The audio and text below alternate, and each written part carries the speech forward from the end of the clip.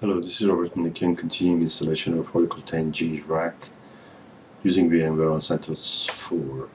Um, I've just cloned the second node and this is the first time it's come up. So I'm going to log into rack 2 or node 2 and log as Oracle. Uh, I'm sorry about this noise. Our neighbor, this car is, the alarm is playing up. Possibly it's got a fly or something in there or maybe a bee. Anyway, uh, I need to do some changes here. Um, and we are pretty much near the end of um, Linux or system installation. You need to amend the bash and the profile and change rack 1 to rack 2 as or Oracle C is going to be called rack 2 in this particular node. The other thing we need to change is our networking. Um, obviously, as we clone the system, still it thinks there is a node 1, but it's going to be node 2. Um, so we edit, we change 101 to 102 don't have any router. It's a good idea to probe to get a new uh, MAC address. And similarly, in here, change 101 to 102. Probe here to uh, hardware, we don't need to do anything. IP, DNS. DNS, we need to change the node to 2 hosts is common to both. So let's save it and quit. Uh, let's log in as root. Let's restart networking to make sure the changes are applied. Um, while this is happening, I will go to our first node and log in there as Oracle as well. Um,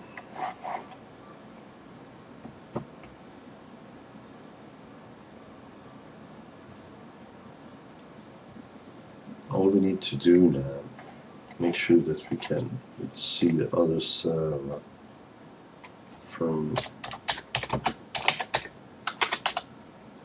so it can see itself um, I wonder if we need to restart so Let's start networking on this one as well.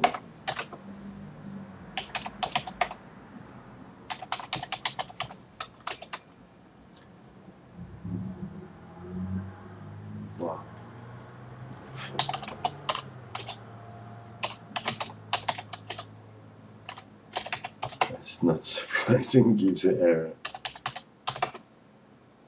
Uh,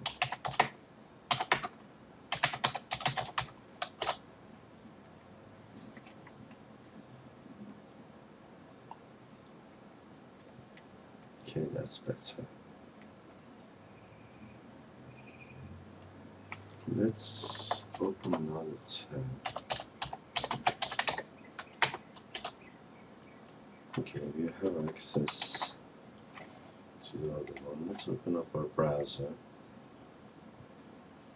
Um, let's go to second node. and make sure you can ping itself and first one. You don't need to do anything in the second one anymore. Let's go back to the first node. Um, install clone machine. That's what we have done.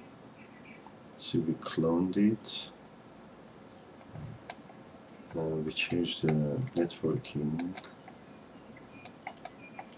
And now we have changed the see we didn't see the networking. It's possible because it was coming up and we were doing both together.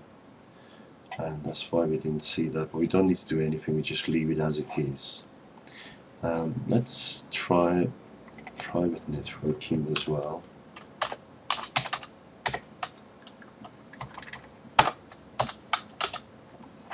that's good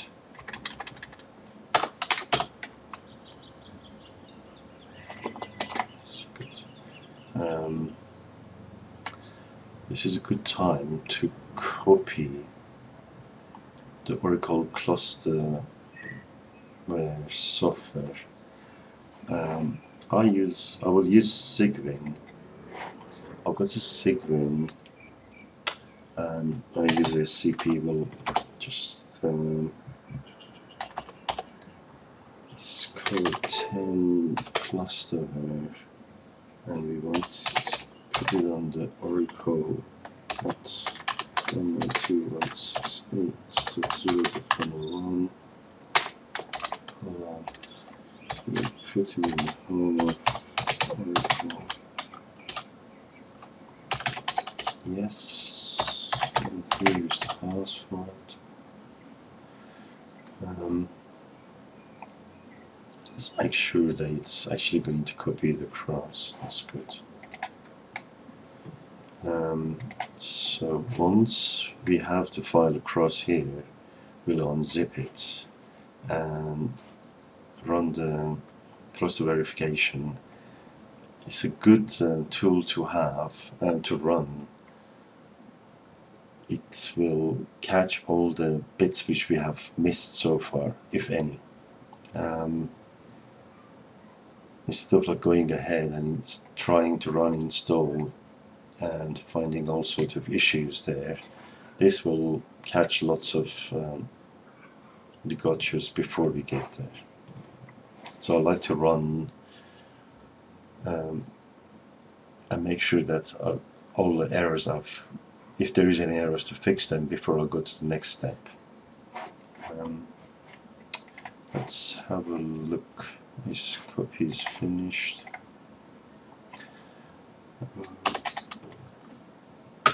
The file is there. Let's, do unzip. Hmm, permission denied.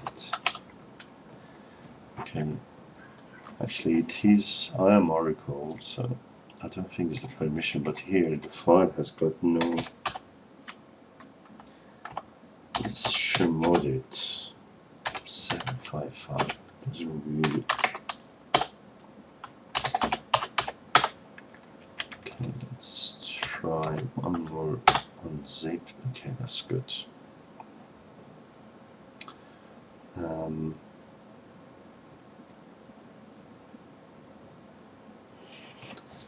okay. What I will um, what I will do once I will actually it's a good place to stop here um, and come back in the next session and start actually playing with Oracle applica uh, Oracle software and doing stuff with Oracle. So we'll stop this session and on the next session I will start and running the clusterware and everything else. Okay, this is Robert Malikian installing Oracle RAC 10G Release 2 on VMware using CentOS 04. See you in the next session. Bye.